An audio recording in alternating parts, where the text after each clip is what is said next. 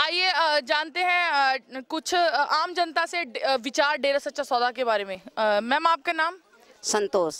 संतोष जी आप डेरा सच्चा सौदा में जाती हैं। अ, क्या माहौल है डेरा सच्चा सौदा का? अ, जब अ, बाबा राम रहीम जी डेरा सच्चा सौदा फरमाया करते थे तो उस सत्संग से क्या आपको फ़ायदा होता था? क्या फ़ायदा जनता को होता था?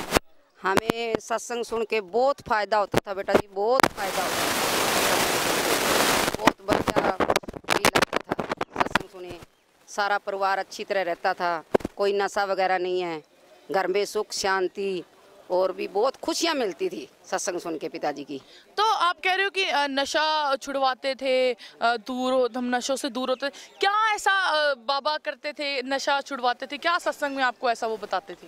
बस सत्संग सुन के जब पिताजी वचन फरमाते थे उन वचनों पे अमल करके भी ऐसा कुछ नहीं करना तो तब ऐसा कुछ होता है सिमरन करने से।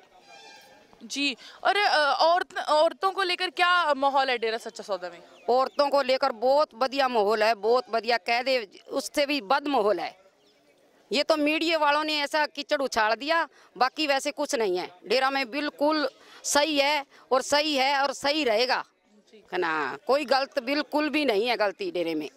तो जैसे कि बाबा का लड़कियों को बराबर का हिस्सा देने के लिए बराबर लड़कों के सम्मान बराबर का अहदा दिलाने के लिए क्या योगदान बाबा का रहा? लड़कियों को बराबर रखने का।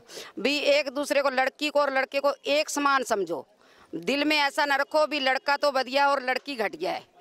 जैसे लड़के का हक है, वैसा ही लड़की का बनता है।